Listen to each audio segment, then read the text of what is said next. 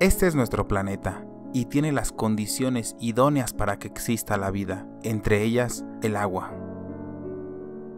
Desde el espacio luce como un gran planeta azul, debido a que un 70% de la superficie se encuentra cubierta por agua, el elemento vital que hace posible la vida de todos nosotros.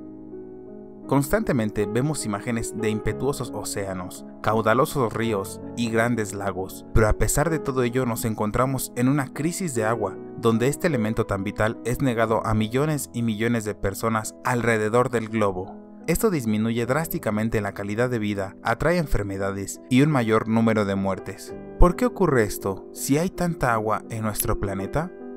Primeramente debemos comprender el agua en cifras, así te darás cuenta que la cantidad real que poseemos no es tanta.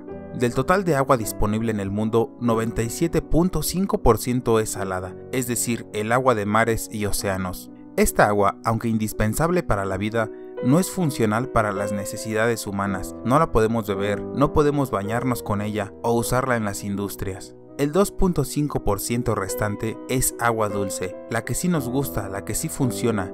Desde aquí ya verás que es muy poca comparación del agua salada, pero aún hace falta clasificar este pequeño porcentaje, es decir, de este 2.5% no está plenamente disponible a todos nosotros. Del total de agua dulce disponible, un 70% se encuentra congelada en los polos y glaciares estas gigantescas masas de hielo que ayudan a regular la temperatura mundial. Ahora tenemos el 30% que se encuentra bajo la superficie, lo que conocemos como agua subterránea, que hace difícil su obtención. Y finalmente, escúchalo bien, menos del 1% se encuentra en ríos, lagos y en la atmósfera en general.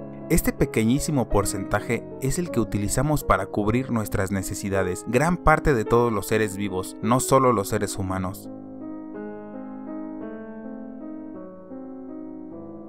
Pero, ¿cómo se invierte o quién usa en mayor medida el agua potable? Quien abusa más del agua potable no es un secreto, y es el sector agropecuario, el que nos provee de frescas verduras y grandes filetes. Aquí, y sobre todo al producir la carne, se gastan millones de litros de agua limpia cada día. Se cree que casi el 69% del agua extraída va a parar a este sector.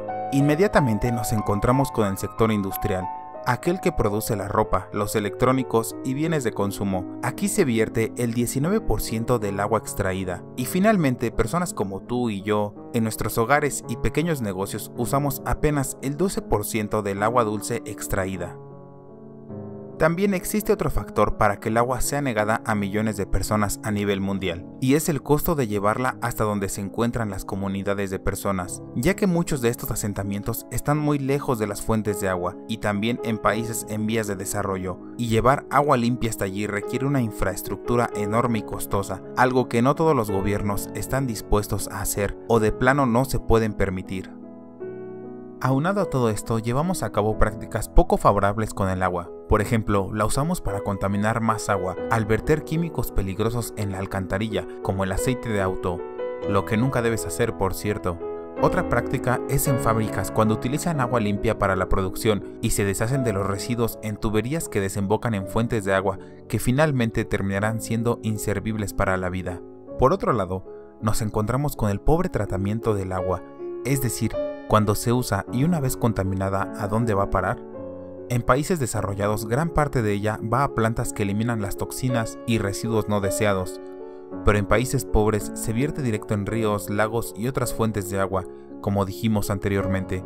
Esta lamentable situación se cobra la vida de millones de personas cada año que usan agua contaminada para poder existir. El agua, tan vital y necesaria para cualquier forma de vida, actualmente es poco valorada por los seres humanos y de seguir con malas prácticas no sabemos hasta qué punto podría permitirse su uso sin restricciones. La Agenda Mundial para 2030 contempla y planea que para ese año ninguna persona sufra por la escasez de agua, pero para ello debemos crear e implementar maneras sostenibles para el manejo del agua no olvides puntuar y suscribirte para seguir viendo este tipo de videos. También puedes seguirnos en Facebook e Instagram, ahí compartimos más información.